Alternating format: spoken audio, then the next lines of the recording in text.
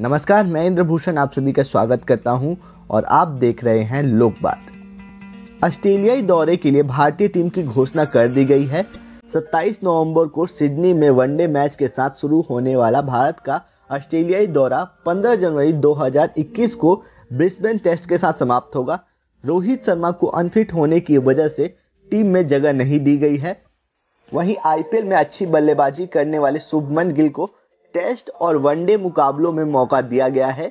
नवदीप सैनी को तीनों फॉर्मेट में जगह दी गई है, जबकि वरुण चक्रवर्ती को पहली बार टी ट्वेंटी टीम में शामिल किया गया है।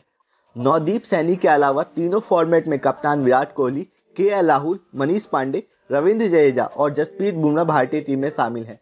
तीनों ही फॉर्मेट में टीम के विकेट कीपिंग की ज़िम्मेदारी अलग अलग क्रिकेटर्स को दी गई है।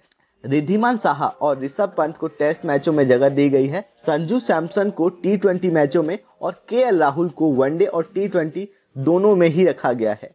भारतीय टीम ऑस्ट्रेलिया में कप्तान विराट कोहली के नेतृत्व में उतरेगी। वहीं K L Rahul one day और टी के उप कप्तान बनाए गए हैं, जबकि टेस्ट मैचों में अजिंक्य रहाने की ज़िम्मेदारी उप कप्तान की रहेगी।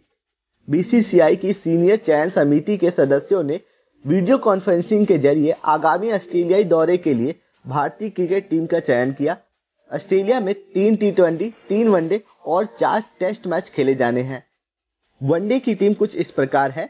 विराट कोहली कप्तान, शिखर धवन, शुभमन गिल, के एल राहुल उप कप्तान और विकेट कीपर श्रेयस अय्यर, मनीष पांडे, हार्दिक पांड्या, मयंक अग्रवाल, रविंद्र जडेजा, यजुवेंद्र चहल, कुलदीप यादव, जसप्रीत बुमराह, मोहम्मद समी नवदीप सैनी और सालदू ठाकुर। टी ट्वेंटी की टीम कुछ इस प्रकार है। विराट कोहली, कप्तान। शिखर धवन, मयंक अग्रवाल, के एल राहुल उप कप्तान और विकेट कीपर श्रेयस अय्यर, मनीष पांडे, हार्दिक पांड्या, संजू सैमसन, बतौर wicket keeper Ravindra Jadeja, Washington Sundar, Yuzvendra Chahal, Jasprit Bumrah, Mohammed Shami, Navdeep Saini, Deepak Chahar और वरुण चक्रवर्ती। टेस्ट टीम कुछ इस प्रकार की है। विराट कोहली, कप्तान। Mayank Agarwal, Prithvi Shaw, K L Rahul Cheteshwar Pujara. अजिंक्य रहाने बतौर उपकप्तान हनुमा बिहारी, शुभमन गिल, रिद्धिमान साहा विकेट कीपर के तौर पर और ऋषभ पंत विकेट कीपर के तौर पर। जसप्रीत बुमराह, मोहम्मद समी, उमेश यादव, नवदीप सैनी, कुलदीप यादव, रविंद्र जडेजा, आर अश्विन और मोहम्मद सिराज। इसके अलावा चार अतिरिक्त गेंदबाज भारतीय टीम के साथ ऑस्ट्रेलियाई दौरे पर होंगे।